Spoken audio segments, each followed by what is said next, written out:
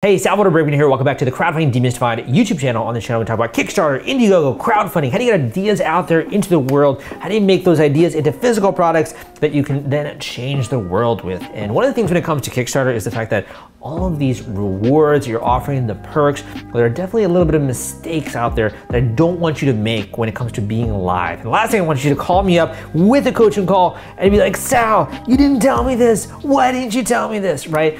So I want to make sure at least we can get some awareness of some of these mistakes so you don't make the cardinal sin of kind of violating some of these rules when it comes to Kickstarter. So we're getting that into that in today's YouTube video. And if you've been watching me for a while and you haven't yet, give me a thumbs up on this video. Come subscribe so you get more content like this. And this video is coming up right after this.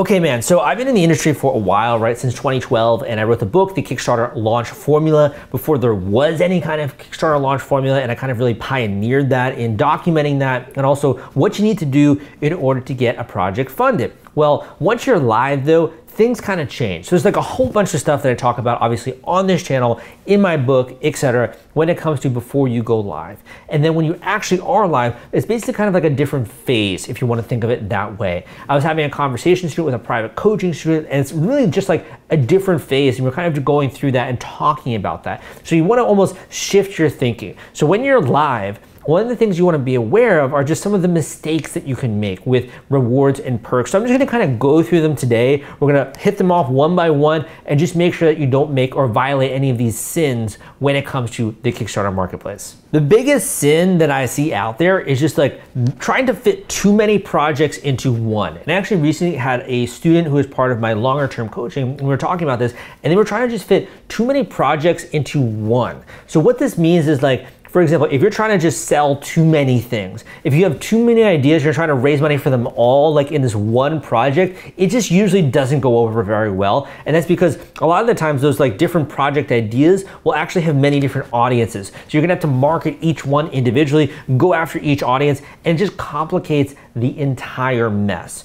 So the first thing is that you definitely do not want to overcomplicate those rewards with just having too many items. It's not an online store, right? You're not necessarily selling everything possible that you can using this Kickstarter campaign. You really want to keep it focused, you want to keep it targeted. It's okay to have different variations of rewards, right? Or different enhanced rewards, but you definitely don't want to be combining or mixing different types of audiences. Or for example, trying to sell like a glove while you're also trying to sell like a hardware, you know, technology device or something like that, when they're just not really related. And you're like, I just want to raise money for both of these, but I don't know how to do that, so I'm gonna put it in the same project.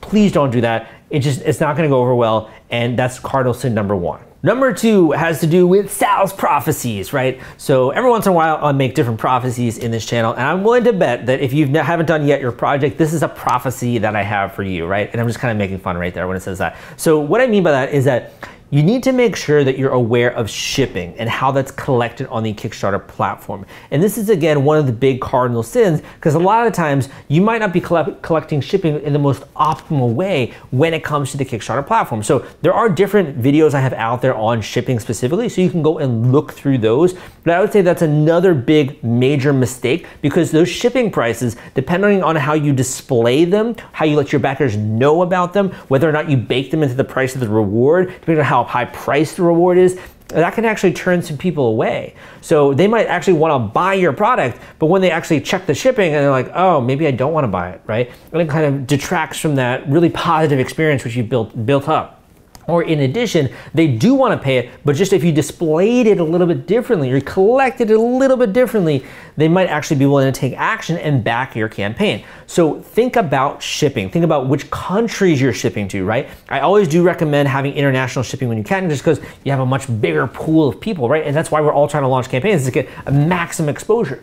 But think through that shipping element because if you don't, and if you don't display it correctly and go with the right method, you might kind of regret that a little bit later. Numero tres, right? Number three. Uh, so I was actually, by the way, I'm adopted from El Salvador, so my, my Spanish is kind of más o menos, right? Uh, entiendo un poquito. But uh, I've been learning a lot more since being here in Miami, and it's you know it's great as well. So number three is the fact that you don't want to have too many choices. Okay, now I know, I know, I know. You look at board games, for example, the board game category, there are a lot of times a lot of choices. And there are people who violate this rule and they are successful. However, for the vast majority of people that I'm talking to, and again, you might be doing a music project, you might be doing a film project, you might be doing a physical product, a gadget, a gizmo, you might have invented a new apparel item, you might have done a, a new board game, something more artistic related, maybe wrote a book. I'm trying to really appeal to a big audience here. For the vast majority of people, you do not want to overcomplicate your rewards. And by that I mean, you don't want to be having like a list of 12 rewards where it's like every $5 you increment up and it's like another reward, right? And the reason there is that it goes back to the same psychological principle that I talk about in my book, that I talk about on the master class that I did, where I basically went through everything that comes to how to get a project funded. And this is about analysis paralysis, okay? You don't want to cause analysis paralysis because it prevents people from taking action. It makes them feel stifled, like, oh, I don't know which one to pick. Which one is the best for me, right? I don't know, I'm not gonna figure this out. And they just go and they go and watch Netflix, right? They go and watch HBO Max or whatever. Um, I've been watching a lot of Amazon Prime recently. Um, they just go and do something else, man. So you don't want to have too many rewards. You don't want to have too many options. Okay, it's okay to have a couple of options, right? It's okay to have a handful of different things that people can choose. They do like preferences and being able to choose. Okay, more often than not, if choosing between just one reward and multiple, they will want multiple, but they don't want to have a lot that they have to sift through, understand the various benefits of each of them, and then make that decision. It makes that decision much more high friction and difficult to make. Number four, and oh my gosh, I've been saying this since day one, is that Kickstarter has to build this into their platform. It took them years to do this, right?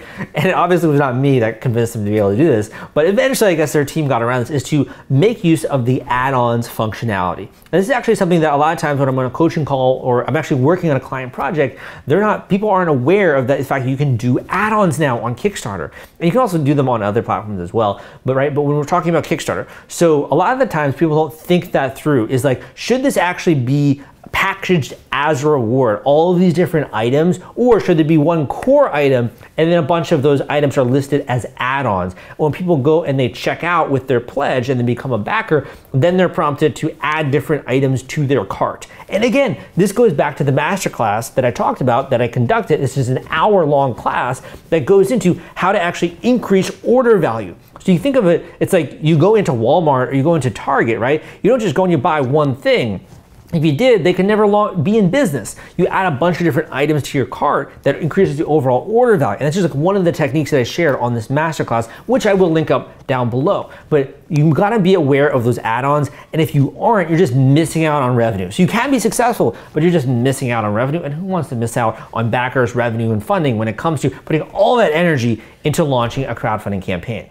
Number five, and this is to me a big cardinal sin, specifically when it comes to the board game category. However, could be a lot of other, other categories. It works well, obviously, with technology, gadgets, and gizmos. Um, it does vary when it comes to other kind of artistic categories that are out there. So you do want to book a coaching call if you're not sure about this. But you do want to make sure that you use stretch goals if it is appropriate to you. Now, stretch goals are that basically that phenomenon where if someone hits a certain amount when it comes to funding, let's just say you get to six figures, right? Then you can unlock a stretch goal. That stretch goal could be a new reward. That stretch goal could be a variation in the product. And you really have to decide, is this something that everyone's gonna get? Or is this something that they're just gonna be able to now claim, right? So like IR Arcade, I coached on that campaign. They had really some really great stretch goals. They ended up raising $600,000, right? And John was had done multiple campaigns. This is the second time. And he also hired me as a coach for the second time. So when it comes to this, like you want to be aware of stretch goals. Is this something that you want to incorporate? And if you are including those different rewards and you're like overcomplicating those rewards and you're like, I want to do everything, maybe some of those rewards should actually be stretch goals, right? So you do have to think this through and think about the logistics when it comes to fulfillment and when it comes to shipping. But this is a cardinal sin. If you're not aware of stretch goals and you are going to be launching a campaign, make sure that you do a little bit of research, a little bit of homework. Watch some of my free videos out there on YouTube on this topic. Number six is actually my favorite, okay? And um, a lot of people actually don't like this. And for the longest time in my life, I actually really didn't like this topic because um, when I grew up, I was kind of convinced by a lot of my teachers that I wasn't a good writer. And I know that's crazy because I've written 10 books, right? But I was convinced by so many of my teachers growing up that I wasn't really cut out for writing. And that's because I used to write like very long paragraphs that just were so jumbled and didn't make sense. And it's kind of the same with if you're starting any new skill, you just kind of suck at it when you first start. Same thing goes with launching a campaign. So to me, that emboldened me to get better and better at writing, and that's something that I've got kind of you know been the blossoming part of my career, starting as a blogger, going into podcaster, writing books, etc., being able to now codify this knowledge for you, etc. So that being said, this point is really about what's called copywriting. So what is copywriting? So copywriting is a discipline, okay? It's literally something that people will study, read books on. I've spent many years studying copywriting. Copywriting is basically saying things in an interesting way in which will get people excited about making a purchase. So it's not the same as normal writing. You have normal writing, right? You have like technical writing, which is writing instruction manuals. You have copywriting, which is kind of like ad copy. How do you say things in such a way that's going to get someone excited about actually taking action, about buying something? So the next cardinal sin is to fail to use copywriting within your rewards. And if you actually study, just go go on Kickstarter and study some of the similar campaigns out there to what you're trying to launch or in the same category. Go and look at their rewards and you'll see they're phrased in a very interesting way, right? Either the titles of the rewards or what it actually says about the reward, how they have the description or the different line items of what's included when you actually pick that package, what it does is it creates this feeling. It's almost like I'm getting so much for this one particular reward, or this is so cool, or this is clearly the best choice. Copywriting is a very subtle art, my friends, but if you incorporate a little bit of that into your reward tiers, not only are you gonna raise more money, but you're also gonna kind of have that halo effect where people don't necessarily get the lowest tier option, but they're gravitating towards the higher tiers, which again, increases that overall order value when they're checking out and they're supporting your campaign. Number seven, and this is like the biggest whopper of a sin out there, right? If you commit this sin, you better go to confession, my friends, right? You got to make sure you confess about this sin. But this is really just um, not using early bird reward tiers, okay? And this is something that to me just creates maximum levels of urgency among people out there. And for those backers, the hardest thing again is to get them to take action. And this is this masterclass that I'm mentioning. This is literally, I spent the entire time you know, going through the intricate details of how to get someone to take action. And I'm literally just handing all of this to you, and it's for free. And you can go and you can uh, attend this masterclass for free. So when it comes to this, getting people to take action is all about urgency, and there are a couple of other levers that you also have to pull. But when it comes to early birds, this is like a no-brainer for me. So early birds can take a lot of different functionality. It could be, for example, a limited quantity reward tier. It could be a time-based reward tier. It could be both of them. There are also some really sneaky things that people will do nowadays when it comes to just increasing the number of rewards that are available, right? And slowly increasing them over time. So it creates this illusion of um, fear of missing out or scarcity or urgency and those kind of things that get people to take action. So there are things you can do here, but there's basically you want to make sure you incorporate some element of these, of this functionality in terms of an early bird package when it comes to your rewards. And it could actually be multiple if you want to, but again, don't violate the other principles, right? Don't complicate things unnecessarily. So this again is the next sin is make sure that you're aware of at least those early bird reward tiers. Want to take all the stress out of fulfilling your Kickstarter rewards? FulfillRite is the turnkey solution that puts product delivery on autopilot. The top campaigns use this trusted high-tech provider to store, package, and ship their products. Focus on growing your business. Leave shipping to the experts. Don't wait. Get a custom quote from FulfillRite today. Link in the description. So I got to share a little bit of a secret with you, which is the fact that I'm an artistic guy. I love creativity, I love writing, all those kind of things that we talked about right on today's video. And sometimes I'll get an amazing idea and I'll just want to run with it. But what I always do is I have my own kind of system that I've developed and I look and I check, does it kind of check some of these boxes, right? So if I have a marketing idea, does it adhere to the principles of marketing? right? Does it at least hit some of these major things when it comes to getting people to take action? And if it doesn't, even if I think it's a brilliant, amazing, innovative idea, I'm always going to start to have at least myself think about it right? At least give myself a week and then revisit it. And almost always it's the case that when it violates the principles that I talk about, it's usually not as good of an idea as I thought about. And it's usually what I call a coffee idea. A coffee idea is like when you've been having just too much coffee and you're like, this is such a brilliant idea. I gotta do this. This is gonna change the world, right? But then you kind of look at it a week later and you're like, what, what the heck was I thinking, right? so I talk a lot about these principles, like I said, when it comes to getting people to take action, increasing overall order value. How do you make sure that you have traffic and funding when you go live, even if you don't have a big audience, even if you've never done Kickstarter before? Even if you don't know the first thing when it comes to social media marketing, if you actually want to discover and learn this secret, I'm going to link up the link to that masterclass down below and you can attend this free workshop. And I really think it's going to kind of just like open your eyes to the potential behind this and actually how it's not rocket science. Like I'm not the smartest guy in the room, right? The reason why I am so passionate about education is that for me, it was so hard to learn many different subjects in my life, like writing. And because of that, I really had to understand it at a very detailed, intricate level to be able to teach it to other people and to help other people along the path. So by no means, I'm not the smartest guy in the room, right? I just like things simple. I like things easy. I like things explained to me and just like not big jargon, you know, big words, that kind of stuff. Like I just want it put simply to me and easily so that literally whether it's me or someone else or a chimp, and let's be honest, there are probably some similarities between me and a chimp, right? You can do this and you can get results beautifully without talent. And I think that's kind of what kind of is like the bedrock here is that no matter who you are, whether you have a background in marketing or not, you can follow these principles and you can perform this and you can do this process without talent.